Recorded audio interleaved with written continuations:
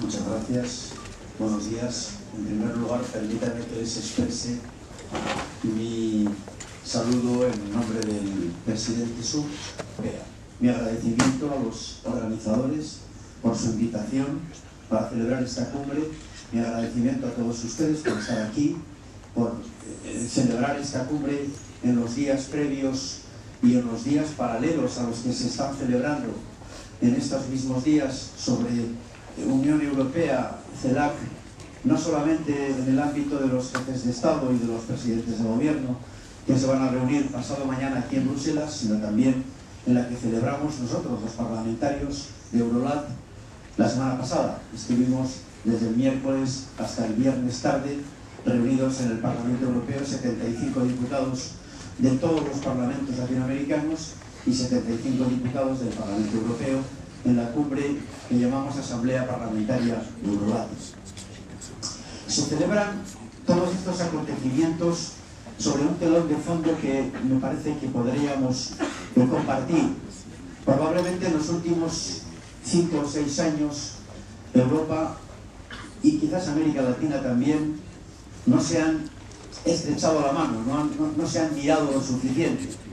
Probablemente nuestra política internacional, la europea, ha estado más eh, prisionera de los acontecimientos próximos, pongamos, nuestra mirada ha estado más en el este, en un conflicto tan importante como el que tenemos todavía en Ucrania o en el Mediterráneo, donde una crisis humanitaria profunda se ha producido con lo que es la conflictividad bélica en tres países del norte de África, en Irak, en Libia y en Siria, que ha provocado una crisis de refugiados que nos ha de refugiados que ha colocado de nuevo a Europa con una mirada solo a lo próximo.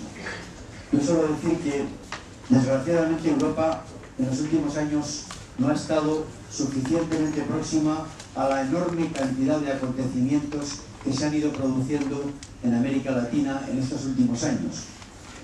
Vivimos pues eh, sobre ese telón de fondo de una cierta autocrítica que queremos hacernos los europeos y sobre un telón de fondo que está atravesado como mínimo por tres crisis que desde el punto de vista político nos afectan y que también forman parte, obviamente, de sus trabajos, de su investigación, de sus aportaciones de la eh, ciencia y de la academia. Una crisis económico-financiera con características muy propias en Europa y en América Latina, pero en Europa que lleva ya siete años atravesándonos desde la perspectiva de una gestión del euro, de la moneda común, una de las grandes conquistas de la integración europea, que sin embargo no articuló una arquitectura suficientemente preparada para la crisis que el mundo financiero ha, sufrido desde el año 2007 aproximadamente.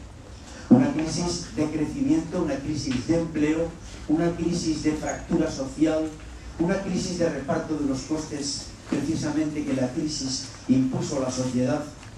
Y en América Latina una crisis, después de 10 o 12 años muy, muy potentes de crecimiento económico, de combate a la pobreza y a la exclusión, después de los años 2000, el crecimiento medio de América Latina al 4%,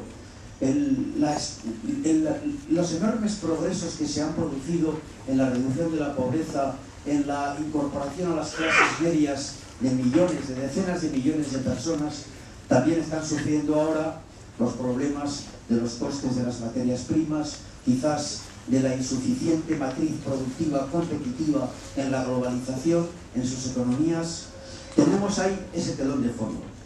Tenemos un telón de fondo de crisis política también en Europa, en gran parte derivado de lo que yo llamo una cierta crisis de neos, de neos nacionalismos.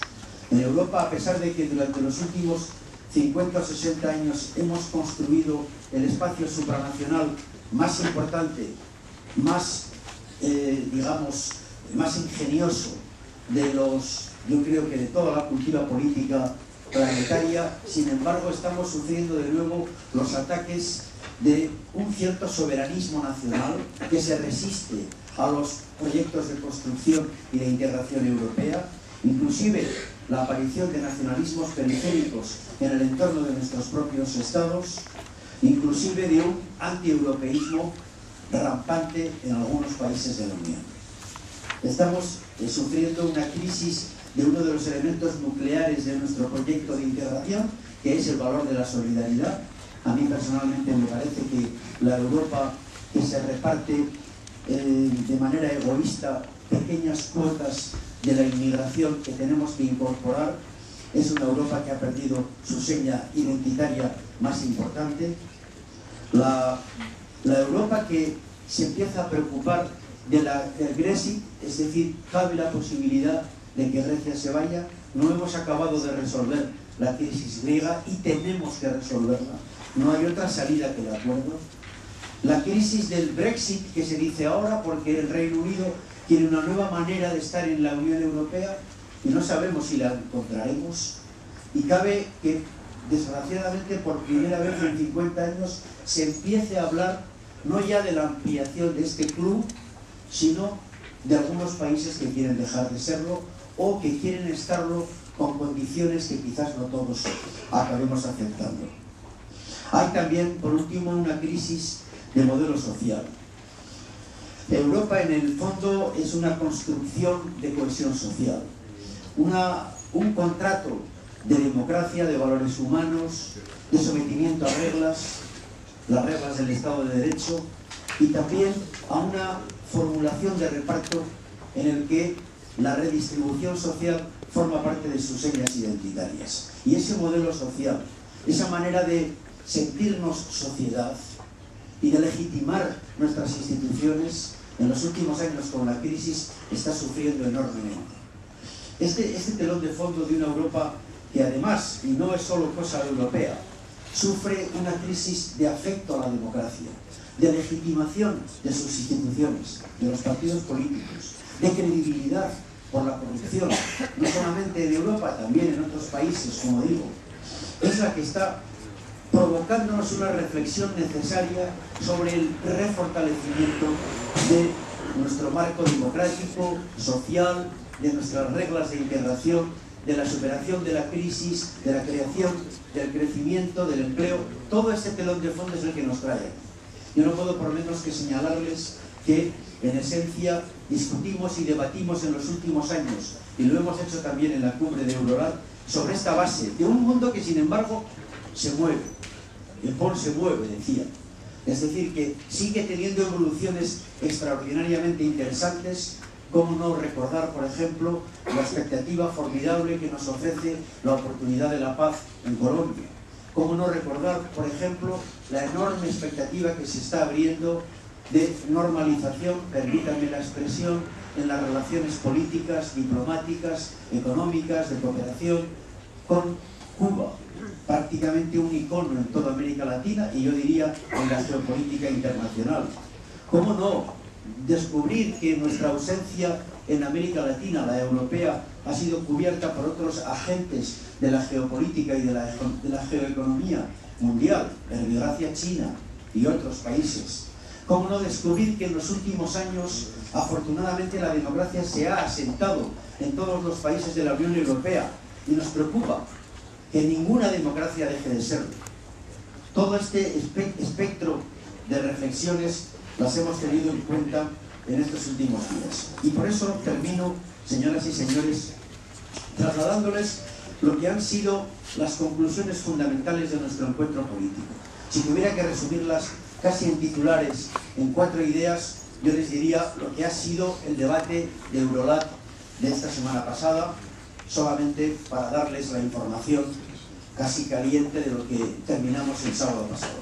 Primero, primer mensaje, que la alianza estratégica de la Unión Europea y de América Latina tiene que reforzarse frente a los retos de la gobernanza del mundo.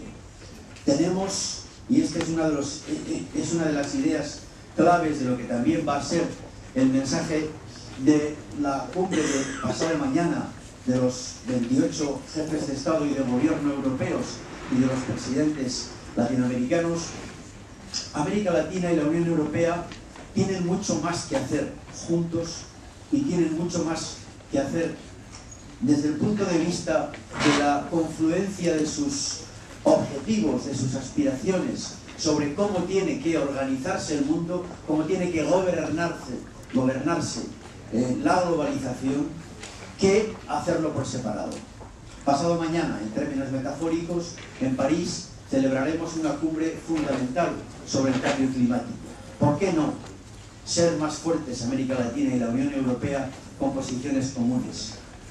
Pasado mañana, en, el combate a la opacidad fiscal, al secreto bancario, a la ilusión fiscal, a la fiscalidad agresiva contra las haciendas públicas, que están provocando en Europa una verdadera alarma social, un verdadero debate político sobre la competencia desleal entre estados de la misma Unión Europea. Toda esta reivindicación que está surgiendo ya no ideológicamente desde un lado del espectro, sino desde las famílicas haciendas públicas de todo el mundo contra la ilusión fiscal, está provocando la necesidad de una reflexión internacional sobre la coordinación para evitar la fiscalidad agresiva contra los estados. Podríamos poner mil ejemplos más. La propia ordenación de los movimientos financieros. Tantas causas que la globalización reclama de la política necesitan una alianza estratégica potente entre Europa y América Latina. Este es el primer mensaje. El segundo, más y mejores acuerdos bilaterales o birregionales que la Unión Europea y América Latina tienen que perfeccionar. Tenemos que adaptar el acuerdo Unión Europea-México, que viene de hace 15 años y no tiene que ver nada con la realidad que están ocurriendo ya en este momento. Tenemos que adaptar y mejorar y modernizar el acuerdo Unión Europea-Chile. Tenemos que avanzar de una vez con Mercosur. Tenemos que eh, eh, seguir trabajando en los acuerdos con Colombia, con Ecuador, con Perú, con Centroamérica. Tenemos que mejorar nuestra cooperación en algunos lugares de América Latina, especialmente en Centroamérica. Esta reivindicación de mejor, de mejor cooperación, de más intercambios comerciales, de más diálogo político es fundamental. Y por último, más intercambios de la sociedad.